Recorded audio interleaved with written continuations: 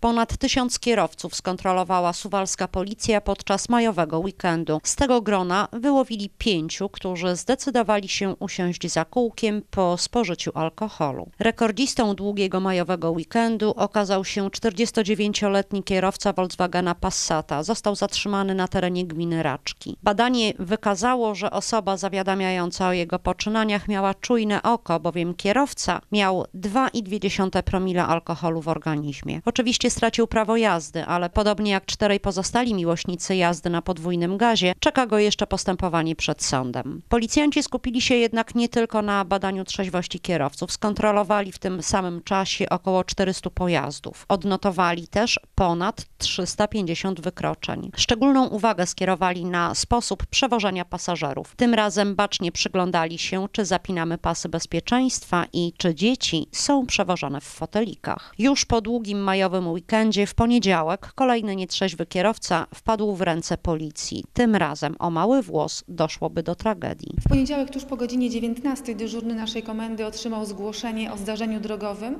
właśnie w Suwałkach przy ulicy Kowalskiego. Policjanci natychmiast pojechali na miejsce. Z ich wstępnych ustaleń wynika, że kierujący Mercedesem jechał ulicą Kowalskiego w kierunku północnym, yy, wyprzedził jeden z jadących w tym samym kierunku pojazdów, a następnie nie zdążył wyhamować i uderzył w Hyundai'a, który zwolnił przed przejściem dla pieszych. W wyniku zderzenia pojazdów Mercedesa przerzuciło na przeciwległy pas ruchu, yy, a następnie yy, samochód uderzył w pieszą yy, stojącą na chodniku. W wyniku zderzenia kobieta z obrażeniami trafiła do szpitala, natomiast kierujący Mercedesem i pasażerowie tego auta oddalili się z miejsca zdarzenia.